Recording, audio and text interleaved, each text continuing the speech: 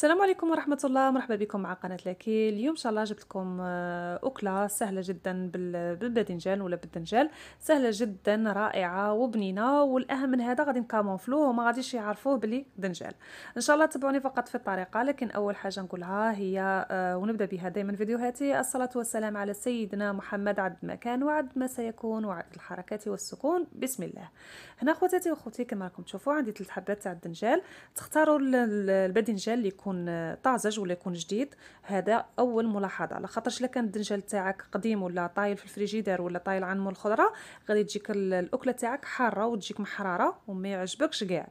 هذه هي دائما نقولها لكم في الباذنجان تختاروا باذنجان جديد. هنا راكم تشوفوا بلي غسلته ونشفاته ومن بعد هنايا قلعت له هذاك القطمير ولا داك الشابو اللي يجي من الفوقة ولا هذاك الشوك اللي فيه قلعناه كاع وراني نمسح فيه بشوية تاع الزيت. هنا بالنسبة اللي تبغي زيت الزيتون وتنجم الذوق تاعه هنايا نمسحوه بزيت الزيتون. هنا نمسح كل الحبات كيما هكا غاية باش من بعد يساعدوني كي نقشرهم لاخاطش غادي نشوهم في فرن يكون ساخن. راني موجده الفرن تاعي آه، يحمى ولا يسخن. ندخلهم هنايا في صينية الفرن حتى ينشفوا لي تماما. هنا بالنسبة للأخوات اللي تبغي ديرها فوق الغاز وتشويه فوق النار يجي هذاك الذوق الفومي هذاك المدخن ديره هنايا بعد اللي نشوي لي هنايا ال- الباذنجان تاعي وطاب لي تماما. راكم تشوفوا حطيتها في كسكاس يكثر parce que يطلق الماء وغطيتها بغطاء زجاجي ولا تقدروا ديروا في بوشة تاع بلاستيك ولا كيس بلاستيكي حتى اللي تنجموا تقشروه بكل سهولة هكا حتى اللي يعرق معكم وتقدوا تقشروه وتقلعوا له هذيك القشرة الكحلة. راني نقشر فيه هنايا راكم تشوفوه هنايا راه ساخن شوية نقشره تماما حتى اللي نكمل هاد الحبيبات ونعاود نولي لخواتاتي. بعد هنايا اللي قشرت كل الكمية اللي عندي غادي نجيبو خدمي ولا سكين غادي نقلع هذيك الطبقة ولا هذاك الراس الفوقاني parce que هذاك ينشف لكم من الفرن وكاع وما يجيش المذاق تاعه. شباب نقلع غير واحد شوية كيما هكا ومن بعد نقطعه. نقطعه يعني عشوائي même لو قطعته رقيق ولا قطع صغيرة ما عليش باش من بعد غادي نسحقوه حنايا ما, ما تبانش la forme تاعه.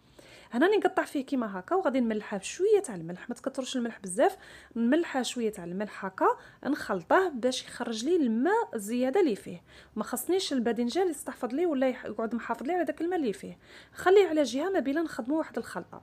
هنا عندي حبة حبة بصل صغيرة ولا نص حبة تاع بصل. يا إما ترابوها يا إما تقطعوها رقيق وهنا عندي شوية تاع المعدنوس ثاني غادي ن- نقطعه رقيق باش ما يبانليش من بعد في الأكلة تاعنا. اللي تبغي تكون رابيد وتخدم بالخف ترابي هذيك البصلة ولا تبشرها. من بعد هنايا غادي نفوتو نجيبو بول ولا نجيبو إناء نحطو فيه هنايا آه، مبشور ولا نبشرو. فص تاع توم يكون كبير ولا تدوزوش في صوص ثلاثة. المهم تبغي هاد الأكلة تبغي الثوم هنايا غادي نزيد معاها هذيك البصل ونزيد معاها المعدنوس هنا غادي نخدمو خلطة. هنا دروك غادي نزيد فوقها هذاك هذاك الدنجال اللي قطعناه. وغادي نعصروه من الماء اللي فيه. قلت لكم ما يخصناش يكون عندنا ما في في الخلطة تاعنا. بعد اللي عصرته غاية هنايا الملح لخاطر شي يساعد باش يخرج لنا السوائل عليها ملحناه نحطوه هنايا مع باقي الخلطة. شوفوا هنايا غادي نقلع لكم الكسكاس شوفوا الماء اللي تخلصنا منه تاع الباذنجان.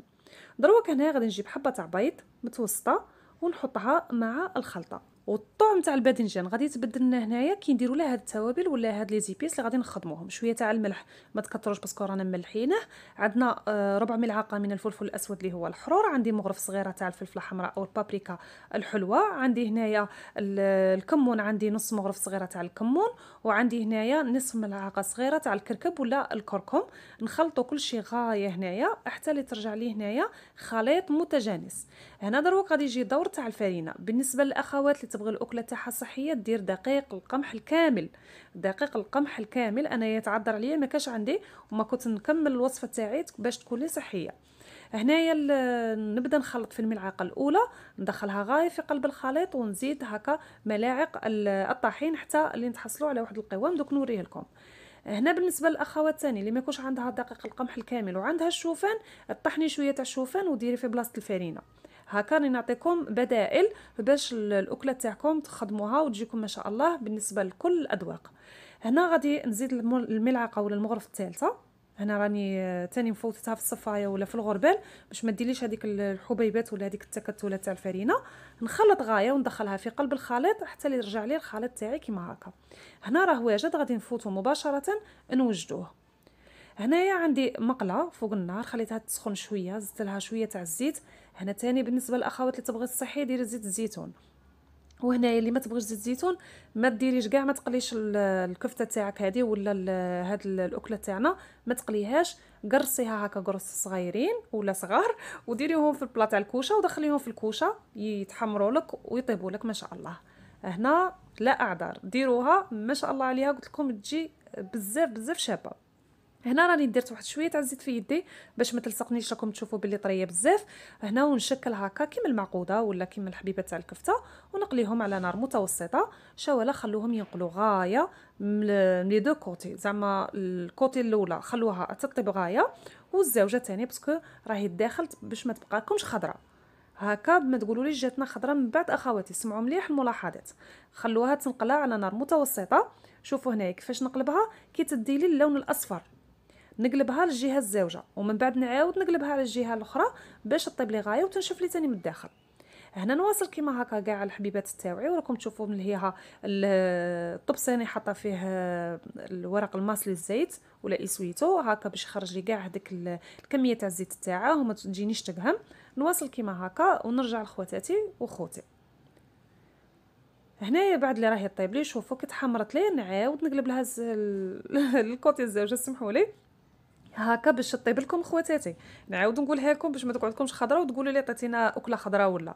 هنا غادي نخليها طيب ونعاود نولي لها.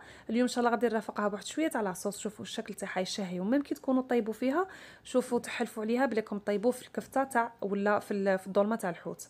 روعة جدا surtout داك البصل والمعدنوس كلشي يعطوها واحد ال goût مغاير تماما. وهنايا صاي طيبتها وجدتها خليتها تكثر لي من داك الزيت وتشرب لي هذاك ال essuie-tout الزيت غاية.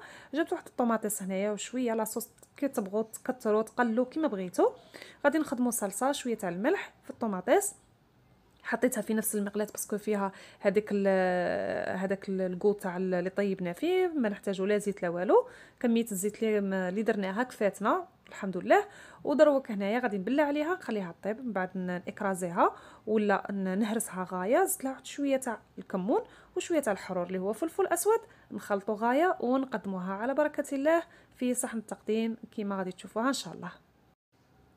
هنايا نفوتوا مباشرة. نشوفوا جات ما شاء الله. تقدموها مع السلطه تقدموها آه قلت لكم كطبق آه كمقبلة ولا طبق رئيسي كحشا خفيف هكا ولا. تجيكم بزاف شابة شاولة ثاني ملاحظة عندي. تقدم ساخنة. لق هاد هاد الأكلة اللي درناها اللي تنتكل حامية. كي تنتكل باردة الكوت تاعها ما يجيش شباب. بصح كي تكون حامية تجي ما شاء الله عليها. وهنا بالنسبة للأخوات اللي ما تبغيش كاع داك الدنجة اللي يبان لها تخدمي هاد لافارس اللي درناها ولا هاد آه، هاد الخلطة اللي درناها. عجنيها بيدك هكاك داك الدنجه كاع ما يوليش يبان لك ويدخل لك في مع ديك البصلة والمعدنوس إن شاء الله كنت خفيفة عليكم إن شاء الله تجربوها وتعجبكم إن شاء الله أستودعكم الله إلى أطباق أخرى بإذن الله تعالى. أحبكم في الله والسلام عليكم ورحمة الله تعالى وبركاته.